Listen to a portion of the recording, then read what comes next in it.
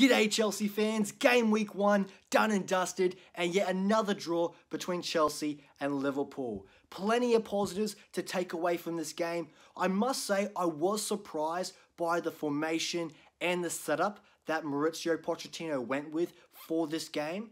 But I think with some refinement on the training pitch and with more game time with these players in this new squad, I think we're going to cook something really interesting under Pochettino this season. My one criticism for this game up against Liverpool would be Conor Gallagher.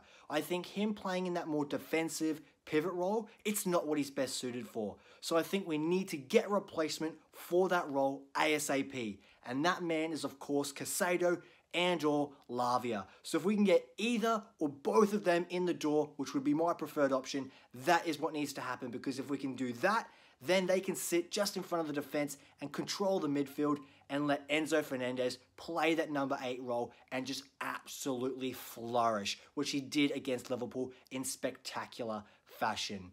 The last thing that I'll say in this uh, video up against Liverpool is that I think we've got some real possibilities going forward in attack.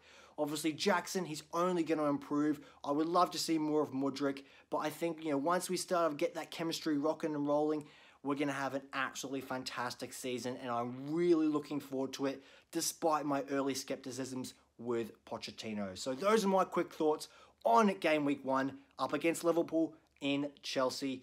And 1-1 is the final result. Good foundation. Let's move forward. Come on, you Blues.